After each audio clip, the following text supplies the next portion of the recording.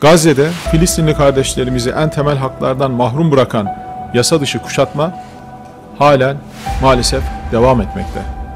Elektriği ve suyu kesilen, gıda ve ilaç tedariki engellenen Gazze'liler günlerdir ağır bombardıman şartları altındalar.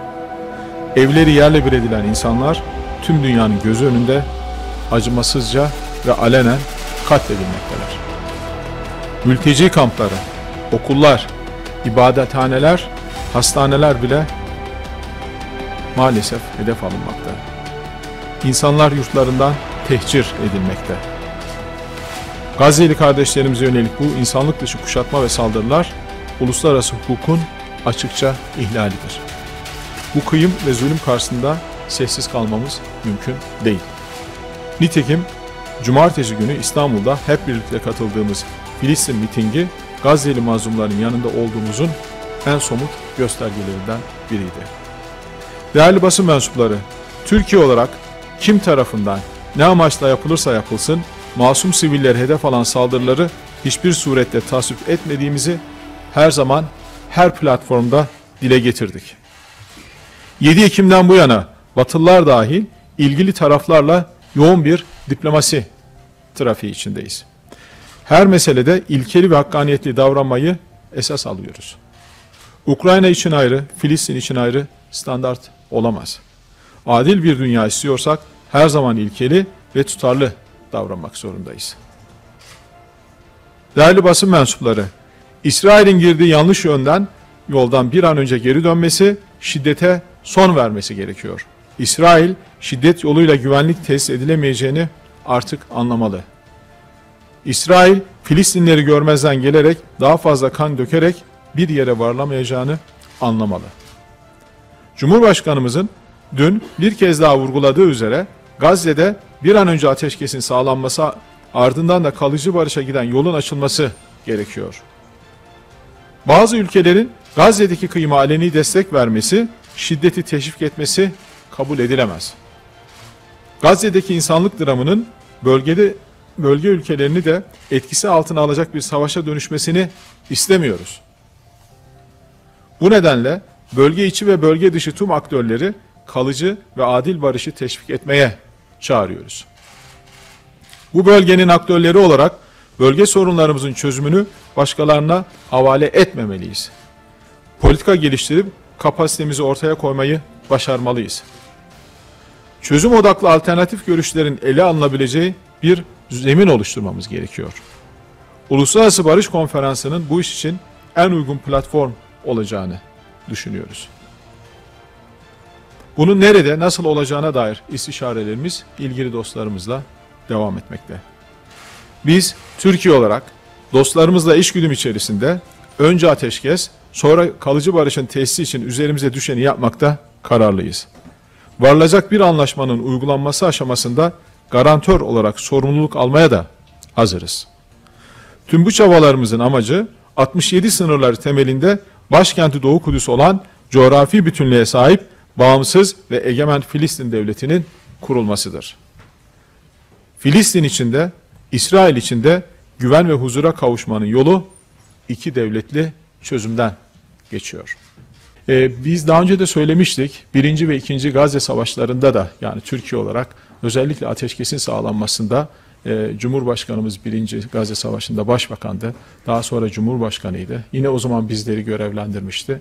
Yoğun bir çalışma içerisinde ateşkese katkıda bulunabilir miyiz diye ilgili taraflar nezdinde mekik diplomasisi yapıyorduk. E, bugün üçüncüsünü yaşadığımız bu büyük savaşta geçmişten çıkardığımız dersler ışığında ortaya koyduğumuz bazı teklifler var ve bu teklifleri de dostlarımızla paylaşıyoruz. E, bunun da gerçekten kabul gördüğünü e, görmekten mutluluk duyuyoruz. Onlar neler? Aslında sürekli dillendirdiğimiz konular.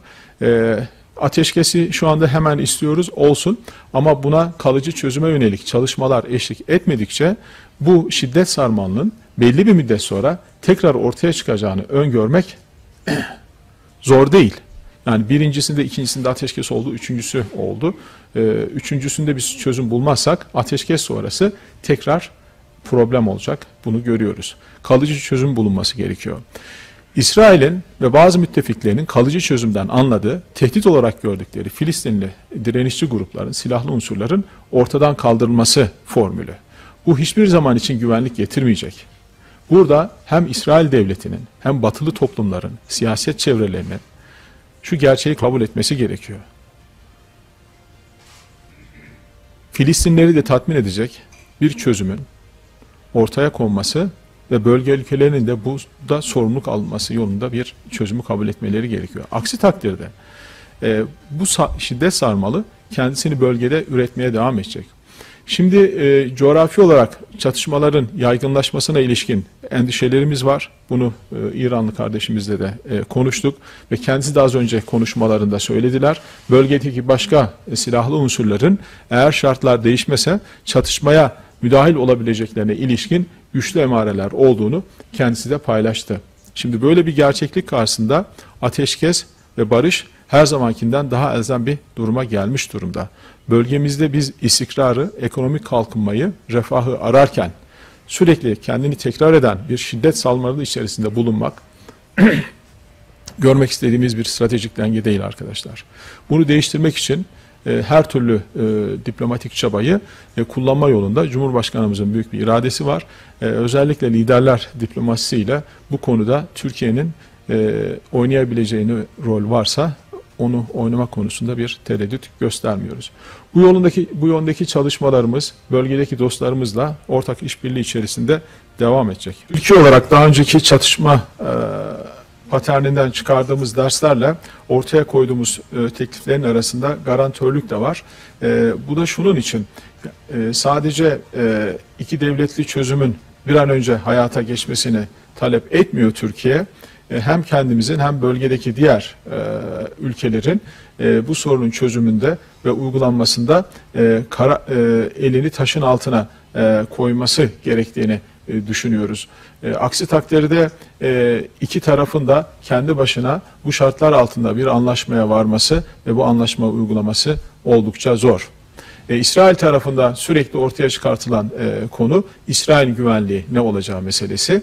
E, diğer taraftan ise aynı derecede Filistinlilerin güvenliği nasıl olacak, devleti ne olacak bu sorunun da ortaya konması gerekiyor. Her iki tarafında tavizler vererek belli bir çizgide buluşup anlaşması ve anlaştığı anlaşmanın arkasında durması gerekiyor. Bunun içerisinde uluslararası toplumun e, bizim önerdiğimiz şekliyle veya başka bir şekliyle e, uygulamada yardımcı olmak üzere garantörlük veya başka bir kavramla da nitelendirilebilir bir mekanizmayla e, anlaşmanın hayata geçmesi için kolaylaştırıcı, güven verici bir rol oynaması gerekiyor. E, biz bunun e, anlaşmanın e, anlaşmaya varılmasında ve anlaşmanın e, uygulanmasında önemli bir e, metot olduğunu açıkçası düşünüyoruz. Diğer taraftan e, gün itibariyle gazeteci arkadaşımız sordu. E, bazı yabancı e, pasaport sahiplerinin e, ve ülke vatandaşlarının Gazze'den refah sınır kapısı e, yoluyla e, çıkacağına ilişkin duyumlar. Evet e, bu yönde e, bilgiler bize de ulaştı. An itibariyle 500 civarında e, yabancı ülke vatandaşının Gaz- Gazze'den çıkmasına yönelik bir Filis, e, İsra, e, İsrail ile Mısır makamları arasında mutabakata varıldığı yönünde e, bize de bilgi ulaştı değerli arkadaşlar.